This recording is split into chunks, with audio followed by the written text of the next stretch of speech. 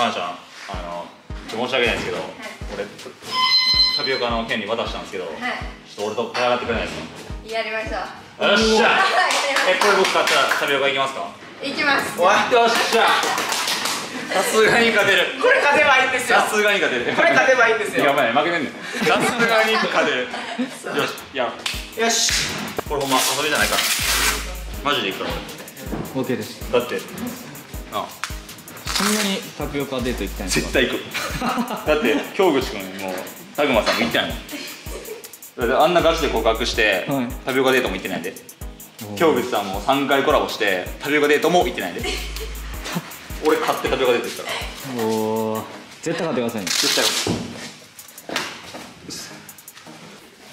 総合プロ5戦目いきます。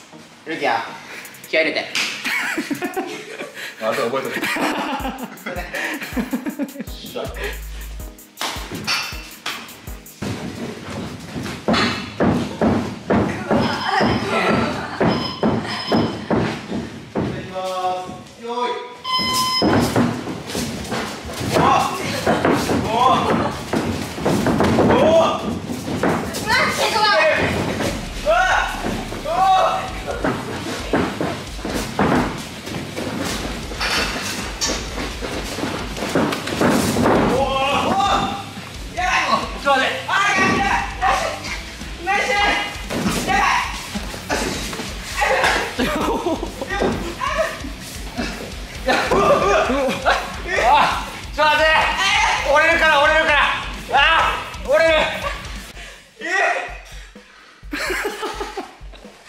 瞬殺じゃないえ今何があった？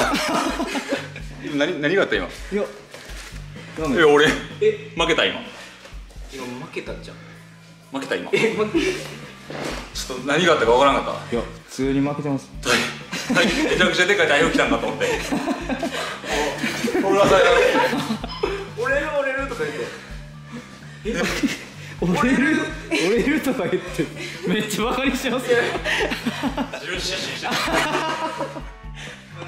え。えじゃあタピオカはもうえそうやな。なくなっちゃった。なよかちょっと。勝っちゃいましたやばいっすねやっぱ。言ったとにかいやば。ええこれちょっとでも使うのなしで。さすがに。使ってください。俺だって総合も例えばアンポルケア総合移籍待ってるぜみたいな、結構 DM とかリフとかも来るけど、はい。それ全部多分なくなるからこれから。今度これは今から立ち外ってっとけになるから、これはカットしてあのラーメンをメインで持ってきます。そう。これは絶対使われる。OK です。絶対、はい。これクリオほんまに頼む。ブラブランディングがあるから、はい。カットしますちゃんと。カットして、はい。よっしゃ。じゃあタピオカいけるってことや。そういうことです。